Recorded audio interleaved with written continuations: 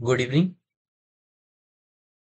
good evening welcome to beat the volatility channel जैसा कि मैंने आपको कल बताया था कि ये जो चार्ट पैटर्न बन रहा है वो आपको मैंने बताने बोला था एक्चुअली इस चार्ट पैटर्न का नाम है रिवर्स हेड एंड शोल्डर जब भी शोल्डर कटता है तो जितना उसका नेक है नीचे में उतना मार्केट ऊपर जा सकता है। तो 22,940 का टारगेट आ रहा है इन कमिंग डेज़ जैसे ही मार्केट ओपन हुआ market open equals to high बनाया जिसका मतलब होता है हमें उसको शॉर्ट करना है।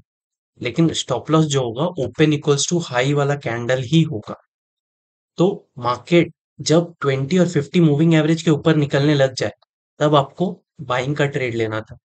आज एक्चुअली पूरा मार्केट न्यूज़ ड्रिवन था। तो जैसे जैसे पॉलिटिकल स्टैब्लिशमेंट हो रही थी मार्केट में कि चंद्रबाबू नायडू बोल दिए हैं कि एनडीए में ही वो रहेंगे और एक गवर्नमेंट फॉर्म होगी।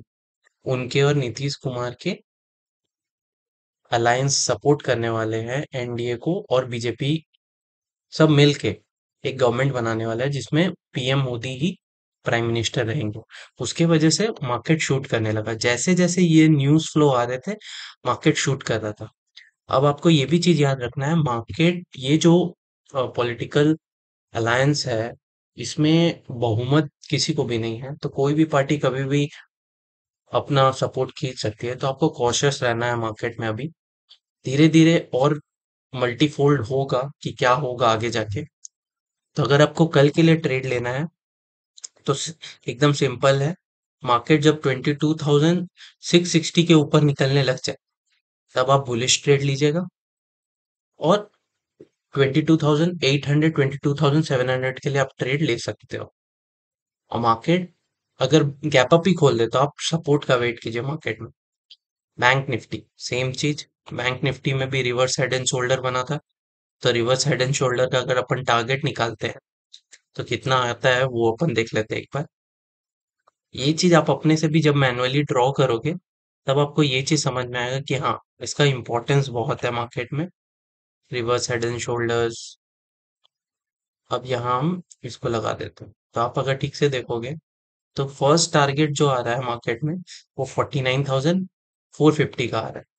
और market forty nine thousand four fifty से ही घूमा है।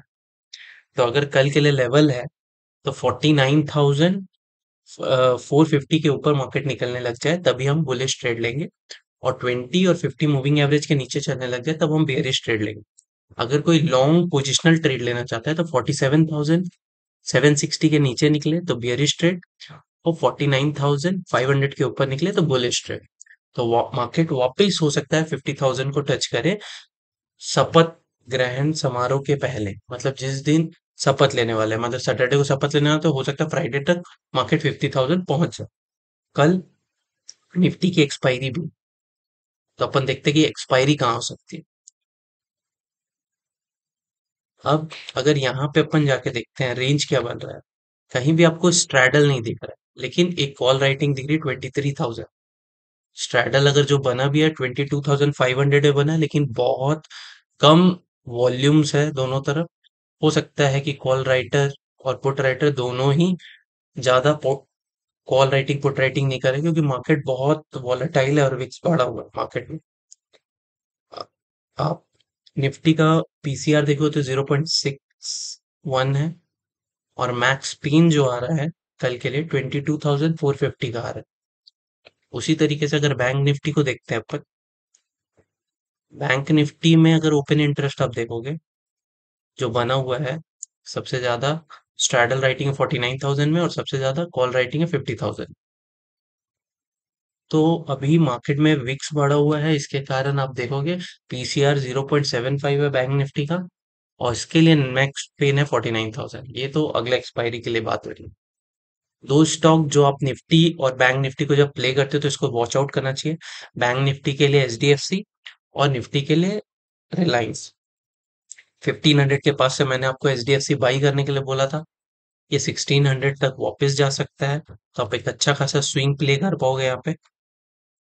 ठीक है? और अगर आप रिलायंस में प्ले कर रहे हो तो twenty eight thousand twenty eight hundred के पास आपको इसको बाई करना चाहिए। और पहला टारगेट ट्वेंटी नाइन हंड्रेड का रखना है आपको। और फिर दूसरा टारगेट थ्री थाउज़ेंड का। तो ये भी एक स्विंग और पोजिशनल प्ले हो जाएगा आपके लिए। अब एसबीआई और आईसीआईसी बैंक आईसीआईसी बैंक अच्छा खासा बाइंग रेट पे आ गया था कल। तो अगर आप आज भी उठ के बाइंग किए होंगे कल के लो से तो भी आपको एक अच्छा खासा देगा लेकिन ये स्विंग टारगेट इसका जो है 1160 का आएगा फ्यूचर में। एसबीआई आप बाई कर सकते हो। गवर्नमेंट स्टॉक है ये। तो गवर्नमेंट ही जब एक दूसरे से जुड़ के बन रही है तो ये थोड़ा प्रेशर में रह सकता है। और जितने भी गवर्नमेंट स्टॉक आपने लिए हैं वो सबको आपको एनालाइज करना पड़ेगा किसका वैल्यूएशंस कितना है, उसके हिसाब से आपको उसको पोर्टफोलियो में रखना है कि नहीं रखना है, वो आपको डिसाइड करना पड़ेगा। आप अपने एडवाइजर से पूछिए कि मुझे अभी रखना चाहिए, नहीं रखना चाहिए और फिर उसके बाद आप डिसीजंस लीजिए। कल के लिए जो दो स्टॉक्स अपन देख सकते हैं, पहला है इमामी। अगर इमामी आपका 700 के ऊपर निकलने लगे, तब एक अच्छा खासा ट्रेड बनेगा इसमें और कल A B F R L अगर 305 के ऊपर निकल जाए, तब आप एक अच्छा खासा ट्रेड ले सकते हो इसमें। दोनों ही स्टॉक अच्छे हैं।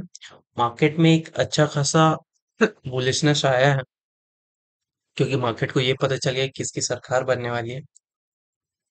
सरकार उसी की बन रही है जो पहले दस साल थे, लेकिन अभी जो सरकार बनने वाली है, वो थोड़ी रोक टोक से बनने वाली है। इसीलिए कल भी और आने वाले जब तक शपथ नहीं लेते हैं मोदी जी, तब तक के लिए मार्केट में आपको पॉलिटिकल हर्डल्स आते रहेंगे। पॉलिटिक्स में क्या चल रहा है, उसके वजह से मार्केट में जो इम्पैक्ट हो रहा है, उसको आपको वॉच आउट करना पड़ेगा।